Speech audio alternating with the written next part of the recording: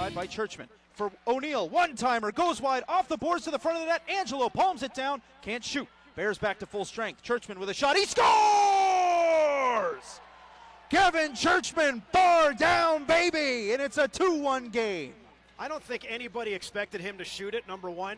With And the Laval Rocket, Hershey is his third team already this season. Matt Apt drags it onside for the Penguins. Back for Blueger. Shut. Block. Comes right back to Blueger. He scores on the backhand.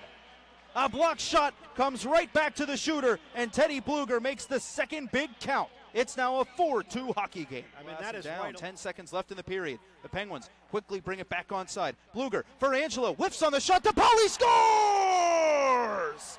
Five seconds to go, and the Penguins have pulled within one.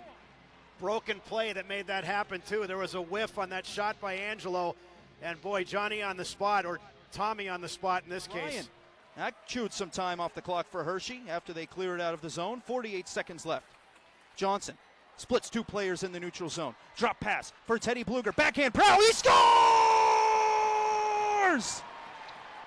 What a setup! And they all pile on Ethan Prow as the Penguins have tied this game. Joseph Cramarossa given the opportunity to win this game for the Penguins, and he's really winding it up in the neutral zone. Comes in, dips the shoulder, he scores! Cramarossa off the post and in, and the Penguins sweep this three and three weekend. What a move! I was wondering when the deke was going to come. Somebody had to do it. Vanecek is so solid facing the shooters, but that one, that kissed in off the goalpost, Nick. It's still sitting in the net, barely touching the back. That's all it took.